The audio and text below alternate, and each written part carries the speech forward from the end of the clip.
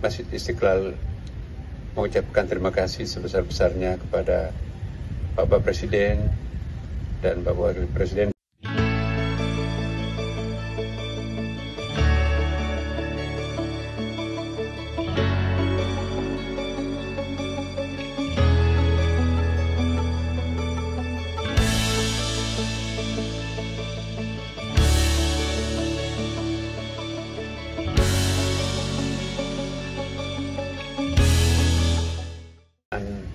Masjid Istiqlal mengucapkan terima kasih sebesar-besarnya kepada Bapak Presiden dan Bapak Wakil Presiden Republik Indonesia atas uh, kesediaannya untuk terus berkorban melaksanakan hewan kurbannya di Istiqlal.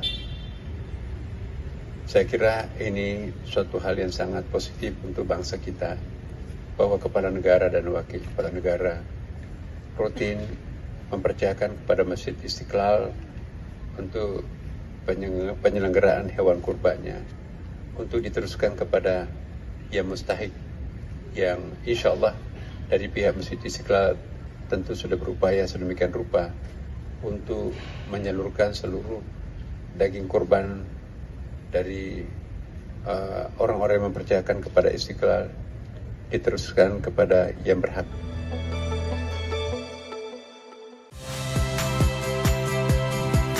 Saya Cynthia Rompas.